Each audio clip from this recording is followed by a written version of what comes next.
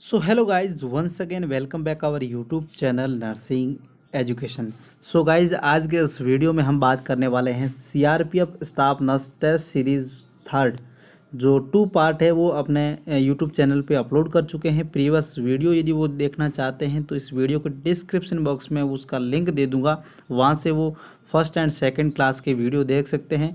अच्छे क्वेश्चन है काफ़ी और सीआरपीएफ जो स्टाफ नर्स सब इंस्पेक्टर का एग्ज़ाम होने वाला है बीस दिसंबर 2020 को, उसके लिए इम्पोर्टेंट साबित होने वाले हैं।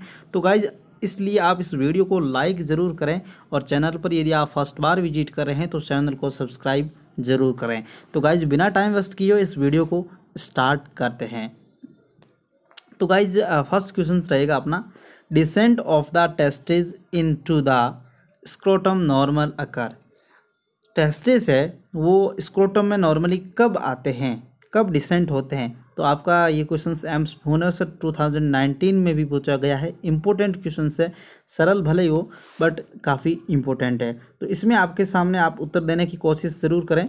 ऑप्शन ए है just after birth option B after seven month of life option C before the five month of life option D before birth तो आपका यहाँ पर हम राइट आंसर की बात करेंगे तो ऑप्शन डी यहाँ पर आपका राइट आंसर हो जाएगा बिफोर बर्थ हालाँकि before the five month of life ये भी होना चाहिए बट ये गलत है बिल्कुल, क्योंकि एग्जैक्ट हम आंसर की बात करेंगे तो बिफोर बर्थ में भी आपका सेवन टू नाइन्थ मंथ के बीच में आपका जो है टेस्टिस डिसेंट होता है, कहाँ से होता है आपकी?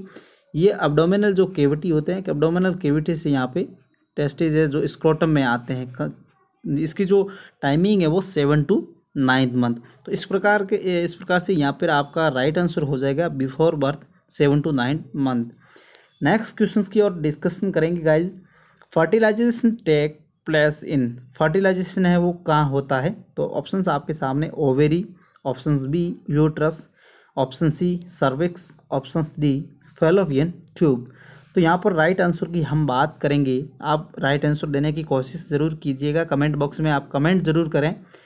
तो हम राइट आंसर की बात करेंगे। तो ओविल जो है आपका फर्टिलाइजेशन है वो मेनली और इम्पोर्टेंट चीज़ है। ये फेलोपिन ट्यूब में होता है। और फेलोपिन ट्यूब में भी पूछे तो कहाँ पे होता है? ये एम्पुला में है होता है। अब बात कर लेते हैं फेलोपिन ट्यूब के बारे में। फेलोपिन ट्यूब है गाइज़ इसकी जो पार्ट है वो आ, कितने होते हैं और इसकी लंबाई कितनी होती है? फेलिपिन ट्यूब की जो है टेन सेंटीमीटर इसकी लंबाई होती है और इसके जो है मेनली फोर पार्ट होते हैं। ठीक है? अब इसके बारे में बात कर लेते हैं। फ़र्स्ट पार्ट है जो फेलोपिन ट्यूब का जो है फंडस के नज़दीक होता है यूट्रस के, उस पार्ट का नाम है interstitial part interstitial part second one जो आपका है इंटरस्टिशियल के बाद में जो पार्ट आता है, उसको बोलते हैं इस्तमस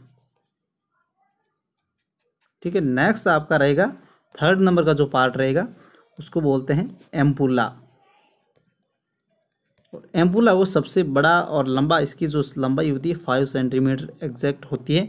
और नेक्स्ट है फोर्थ नंबर जो का फोर्थ नंबर का जो पार्ट होता है, उसको बोलते हैं इनफंडिबुलम इनफंडिबुलम इस प्रकार से फेलोपिन ट्यूब के फोर पार्ट होते हैं, और मोस्टली जो है, आपका फेलोपिन ट्यूब में एम्पुला वाट में यहाँ फर्टिलाइजेशन होता है। और इसमें क्वेश्चन से कभी कभार ये भी पूछ लेते हैं कि जो फेलोपिन ट्यूब है, उसमें एम्पुला पार्ट है, उसमें जो है, जो एक्टोपिक प्रेगनेंसी है, उसके फिफ्टी फाइव परसेंटेज होने के चांसेज है एक्टोपिक पार्ट एक्टोपिक जो प्रेगनेंसी होती है एम्पुला रीजन में फिफ्टी फाइव परसेंट होने के चांसेज रहते हैं। तो नेक्स्ट क्वेश्चन की ओर मूव करेंगे गाइज़ वीडियो को लाइक ज़रूर करें गाइज़ लाइक करते जाएँ। नेक्स्ट क्वेश्चन है sign of ectopic pregnancy include ectopic pregnancy क्या होती है? फ़र्स्ट नंबर ये बात कर लेते हैं एक्टोपिक प्रेगनेंसी के बारे में।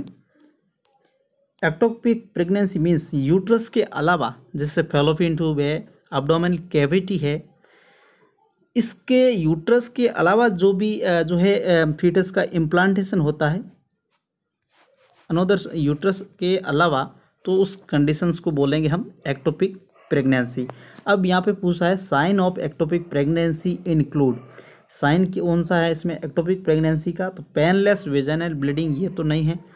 रिबाउंड टेंडरनेस ये भी नहीं है और बोगी कैथ यूटर यूट्रस ये भी नहीं है। तो यहाँ पे एक्टोपिक प्रेगनेंसी का साइन है। शार्प अबडोमिनल पेन यहाँ पे ऑप्शंस भी आपका राइट आंसर हो जाता है। नेक्स्ट क्वेश्चन की ओर हम मूव करेंगे। क्वेश्चन से ईडीडी के बारे में। What could be the expected date of delivery for the woman who got her last menstrual cycle twenty April 2018 तो ये क्वेश्चन है EDD expected date of delivery यहाँ पर ईडीडी का आपका जो क्वेश्चन पूछा है ईडीडी का तो काफ़ी अच्छा क्वेश्चन है और मोस्टली हर एक एग्ज़ाम में ये क्वेश्चन आ ही जाता है। इम्पोर्टेंट है तो ईडीडी हम कैसे निकालते हैं? ईडीडी के लिए आप एक नेगले रूल है। नेगले रूल है, उसके अकॉर्डिंग हम ईडीडी यहाँ पे निकालेंगे। अब इसमें डेट दे रखी है। बीस अप्रैल 2018 तो बीस अप्रैल के साथ आप क्या करेंगे? सेवन डे जोड़ेंगे।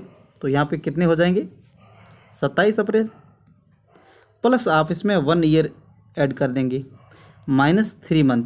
तो इसमें आप सत्ताईस अप्रैल के साथ बीस अप्रैल के साथ सात जोड़ेंगे। सत्ताईस अप्रैल सत्ताईस अप्रैल। प्लस आपको एक साल इसमें बारह मंथ ऐड करना है। जैसे बारह मंथ ऐड करेंगे तो आपका यहाँ पे हो जाएगा जो है सत्ताईस अप्रैल दो हज़ार उन्नीस। तो उसमें से वापस थ्री मंथ माइनस करने हैं। जैसे ही अपन सत्ताईस अप्रैल में से थ्री मंथ माइनस करेंगे तो यहाँ पे आंसर आपका आ जाएगा सत्ताईस जनवरी 2019 तो ये आपका एग्जैक्ट राइट आंसर होगा ऑप्शन ए नेक्स्ट क्वेश्चन की और मूव करते हैं। Third stage complication of labour is all except third stage के जो है कॉम्प्लिकेशन है, एक को सिवाय तो यहाँ पे obstruction pulmonary embolism obstructive labour PPH retained placenta तो ये क्वेश्चन है, मैं आप सभी के लिए जो है छोड़ रहा हूँ। इस क्वेश्चन का आंसर आपको कमेंट बॉक्स में कमेंट ज़रूर करना है कि आपका आंसर राइट आंसर क्या है। ठीक है गाइज़ नेक्स्ट क्वेश्चन की ओर हम मूव करते हैं। A pulsating abdominal mass using indicate which of the following condition? A pulsating abdominal mass abdomen में है पल्सेटिंग abdominal मास फील हो रहा है तो वो किस कंडीशंस को यहाँ पे इंडिकेट कर रहा है? तो ऑप्शन ए आपका है, abdominal aortic aneurysm option B enlarged spleen option C gastric distension option जो है डी है गैस्ट्राइटिस तो अब्डोमिनल जो इंपॉर्टेंट चीज़ आपको यहाँ याद रखनी है, जब भी क्वेश्चन में पल्सेटिंग अब्डोमिनल मास आए तो मोस्टली या किस कंडीशंस में देखा जाता है? अब्डोमिनल एरोटिक जो है, एन्यूरिज्म होता है, उसमें क्या है, वैन जो है, ऐसी हो जाती है कंडीशन इस कंडीशंस में है जो पल्सेटिंग मास आपको यहाँ पे फील होगा। तो यहाँ पे आपका राइट आंसर हो जाता है option A next question anti infect infective vitamin anti infective vitamin कौन सी होती है? Option A vitamin option B vitamin B, option C vitamin C और ऑप्शन डी विटामिन डी। तो आपका है ऑप्शन ए, यहाँ पे राइट आंसर हो जाता है। एंटी इन्फेक्टिव होती है और विटामिन सी है वो वुंड हीलिंग में आपका यहाँ पे काम आती है। Next question calcium absorption is aided by all of the following except calcium absorption में कौन कौन सहायता करते हैं एक सिवाय एक के? तो यहाँ पर vitamin D vitamin C lactose and fat तो कैल्शियम अब्जॉर्प्शन के लिए ओनली जो है विटामिन डी सी और लैक्टोज है। बाकी डी ऑप्शन से वो यहाँ पे राइट आंसर रहने वाला है। एक्सेप्ट पूछा है तो यहाँ पे फैट रहेगा। तो ये यहाँ पे राइट आंसर हो जाता है। नेक्स्ट क्वेश्चन की ओर मूव करते हैं। Identify the incorrect pair among the following इसमें से आपका है इनकरेक्ट पेयर आपको चूज़ करना है। बीसीजी ये टीबी के लिए और इंट्राडर्मल आईडी लगता है।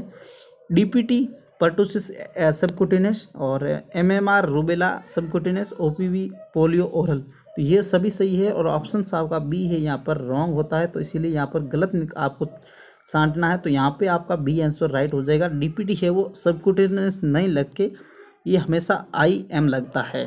ठीक है गाइज़ यहाँ पे राइट आंसर बी हो जाता है।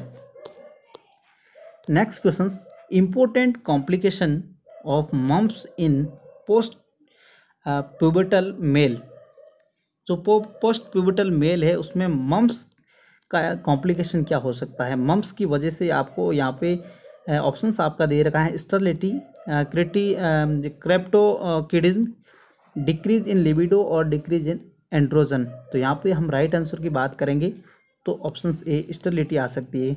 मेल में मैनली ऑर्काइटिज्म ऑर्काइटिस और फीमेल में oophoritis inflammation of the ovary और orchitis mean inflammation of the testis तो यहाँ पे आपका आंसर ए हो जाता है राइट स्टलिटे नेक्स्ट क्वेश्चंस की ओर मूव करेंगे। What is the percentage of polio infection that is asymptomatic polio infection के कितने परसेंट चांसेज होते हैं कि वो असिम्टोमेटिक होते हैं?